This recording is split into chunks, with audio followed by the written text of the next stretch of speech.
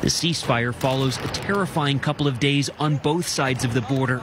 Today, Israelis told us they were grateful for any calm, however long it lasts. Do you have any faith in this ceasefire? No.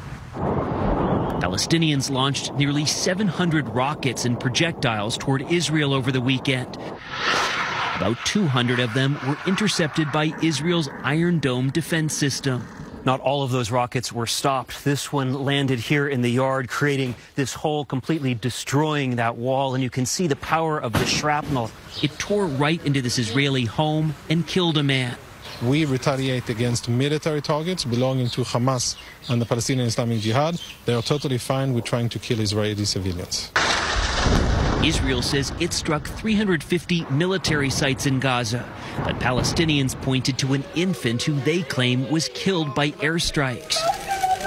Grief and anger have grown in Gaza, and Palestinians condemned Israeli aggression amid a humanitarian crisis there.